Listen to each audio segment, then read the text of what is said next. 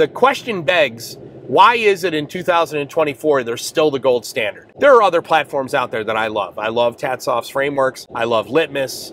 I love the combination of the Canary Labs historian with Flow software.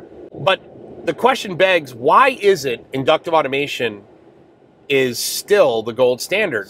Take zero. All right, so I get this question a lot.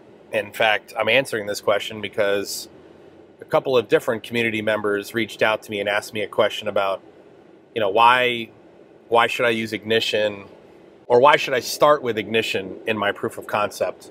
And why is it the best IoT platform in your opinion? All right. So while ignition is not the only IIoT platform, um, in my opinion, it's still the best out there. And here's why. First off, what is an IoT platform? An IIoT, an IIoT platform is a platform who can do the connect, collect, store, analyze, and visualize of your digital infrastructure. Okay, so an IIoT platform gives you the ability to connect, collect, store, analyze, and visualize your data. The one additional element that it has is an IIoT platform can also do data ops. All right. So Ignition qualifies as an IoT platform, and I would argue that it, it's really like the first IIoT platform because it was wholly open. Um, in order to answer the question for why inductive why Ignition is the premier IIoT platform, we have to go back to why it was created in the first place. Steve Hechtman owned an integrator in the 90s and the early 2000s. Actually, he owned the integrator, I think, all the way up until the 2010s before he finally divested. Steve Hechtman, who's the founder of Inductive Automation, he was tired of the players in the in the industry. Rockwell Automation, Wonderware, Intellution, Schneider, et cetera, et cetera. Their business practices. Uh, licensing costs were too high they would nickel and dime you. They would, you know, they con- they would control their regional markets. You know, they operated like the mafia, and it's been a problem in our industry for decades. I mean, it's something that's always frustrated me, frustrates everybody, anybody in this industry. Anyway, Hechtman was sick of the way these companies operated, and so he said, "You know what? I'm going to build my own platform." And the and he had a, a series of basic pillars you know that it was going to be open it was going to be cross platform it was going to be easy to use, drag and drop. And to that end, he had he had this idea. There's actually an original sketch of the original platform, like on graph paper, where he was going to build a platform that would be a SCADA platform, but it would basically it would be all SQL in the back end. So the definition of a tag would be a there'd be a table for definitions of tags. There would be a table that contained all the current values of the tags. There'd be a table that would contain all the history. And also there'd be a table that contained all the history of a tag being edited. And that was the tag TE table. So the backend would all be SQL. It would be fully open, so you could like query it and everything. That original platform was called Factory PMI. And that was like 2002, 2003. That was developed by two guys out of UC Davis, Colby Clegg and Carl Gould, who were hired like out of school to build this platform. Those two guys are still with inductive automation and they're both officers in the company now and colby clegg is the current chief executive officer at inductive automation. In fact many of the original people who were hired out of uc davis guys like travis cox and many others in the organization are still with inductive automation. And the principles upon which steve hechtman started the company and designed the platform those principles still apply those core values, the mission of the company, they all still apply. And so inductive automation hasn't been corrupted over time from what that original vision was. Number two, Steve Hechtman was ab- absolutely adamant that you would be able to download the software from their website for free without having to talk to anybody. And you could install it in three minutes, and you could, and at its base level, it would be drag and drop, and you could get started right away. He, later on, he decided the training would be free. We would offer free training online through Inductive University get credentialed for free. All zero touch. third concept was inductive automation's target market was the system integrator. So they they relied on the system integrator to be the people who sold the platform. Okay? So this is long before they ever had premier integrators or anything. They just they built a platform that integrators wanted to use because it was easy. It was low barrier to entry. It was open. Um, it was just an easy platform to work with. Okay. All of those rules still apply to this day. But the platform's only gotten better. If you look at from 2002 to 2008, when it was factory PMI and it got rebranded as Ignition in 2008, in 2008, it was really like a standalone SCADA platform. It had, I, when I started working with inductive automation, it was in 2008. And I really didn't jump in with both feet until 2012. But from 2008 to 2012, it was really a rapid application development environment for SCADA applications, primarily because they didn't support user-defined data types or templates. There was no enterprise features in Ignition everything changed in 2012 when they came out with UDTs and templates. Um, the the precursor to the EAM was the Gateway Area Network, which came out in 2012, and then the MQTT modules in 2014 from CirrusLink. And by 2014, Ignition was a IIoT platform, enterprise class, a platform for solving problems where you could connect, collect, store, analyze, and visualize any type of data into any type of visualization and you could make it accessible to other elements inside your ecosystem. And to this day, it is still one of the most cost effective platforms on the market. It is still the gold standard in terms of being able to deploy short time to value. And it is an easy platform to teach people how to use and support.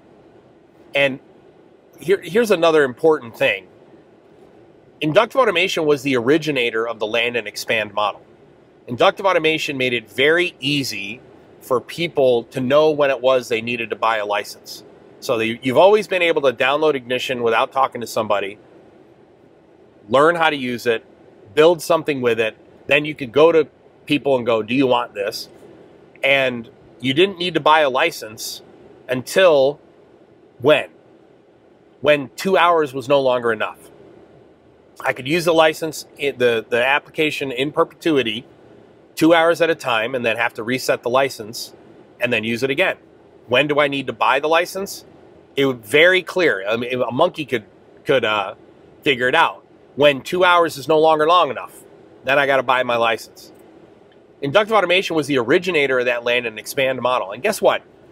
Not a lot of people do that, even to this day. And you have to ask the question why?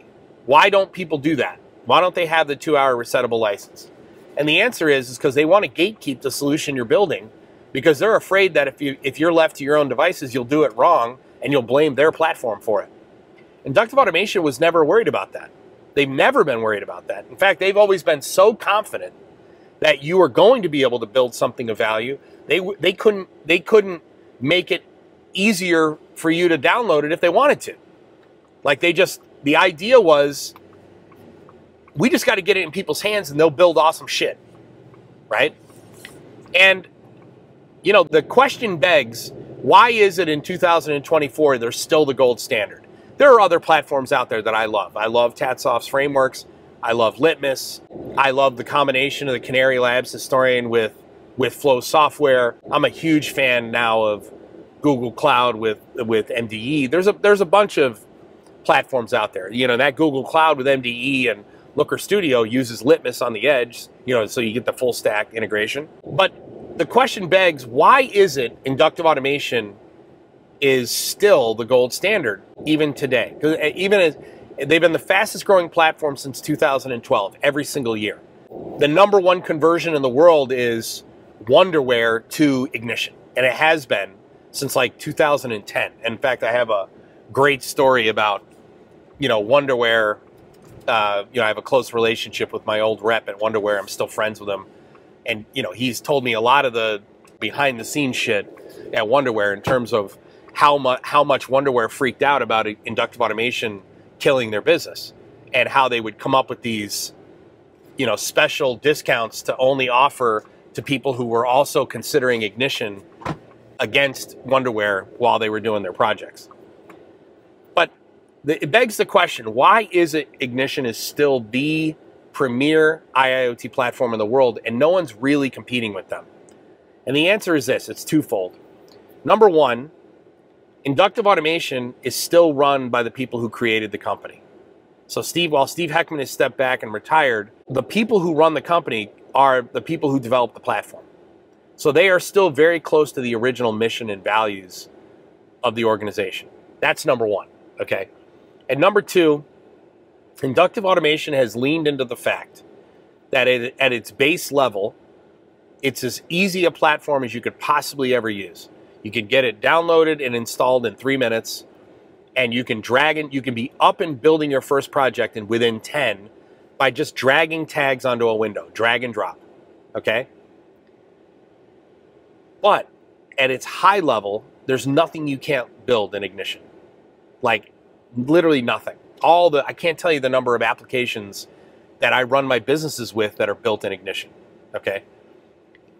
At its base level, it's easy. At its top end, it's as complex as you want to get. Now, there's a downside to that. Obviously, with great power comes great responsibility. There's an easy way to, you know, you could easily, if you don't know what you're doing, you could paint yourself into a corner.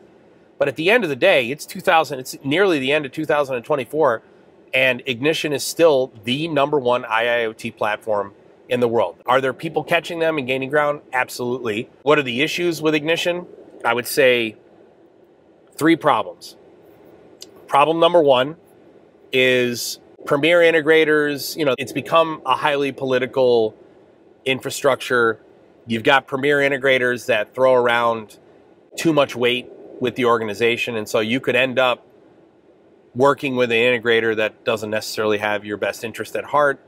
That's a problem. It wasn't like that in the beginning. It's one of the reasons that we were never wanted to be a premier integrator. We never accepted the invitation to become a premier integrator because we believed that it would it would mess up the incentive structure. We wanted our we wanted to answer to the client, not to the vendor. And not that inductive automation is overly crazy with sales targets and that kind of stuff. And but at the end of the day, I wanted to keep the incentives right. So number one, the integrator program is a problem. All right. Is it a huge problem? I don't know. Number two, the Python scripting language is getting old and it's based on an old version of Python. And at some point, they're going to have to upgrade and there's going to be a lot of people who have technical debt in their Python scripts that they're going to have to refactor. And in some cases, that could be millions of lines of code. So that's a problem. And then uh, number three is obviously the historian, which I understand they're they're working on. But those are the issues. I mean, at the end of the day, though, from when I first started working with Ignition to now, Ignition is now a platform upon which you could build your entire infrastructure. I mean, you, you literally just using Ignition gateways, Ignition Edge, and ignition gateways, gateway area network over EAM, MQTT, and the ignition tags and web services, you could literally build your entire digital infrastructure.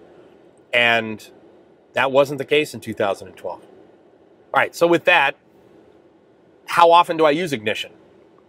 I'll say this when I have a solution to solve, a problem to solve, and I want to build a proof of concept, the very first platform I reach for is Ignition 99% of the time, still to this day. I use frameworks an awful lot, um, TatSoft's frameworks an awful lot. I've been playing with Litmus a lot more lately, and I've been using like Google Cloud a lot more in POC. But to this day, Ignition is still the platform that I, I reach for. And I don't suspect that's going to change uh, anytime soon. So, with that, if you're not using Ignition, you should be. You may not need to use as much as I am, but if you're not using Ignition, you should be. And one of the things I love about what's happening at Prove It in February, Inductive Automation will be at Prove It. They will be kind of showing off what's possible using their platform. And I suspect they're going to be doing an application that most people wouldn't consider using the platform. So, all right, with that, that's the reason that Inductive Automation's Ignition is still, to this day, the number one IIoT platform in the world IIoT platform means rapid application development environment that can connect, collect, store, analyze, and visualize, including data operations. All right, like, subscribe, comment down below, and I'll see you in the next one.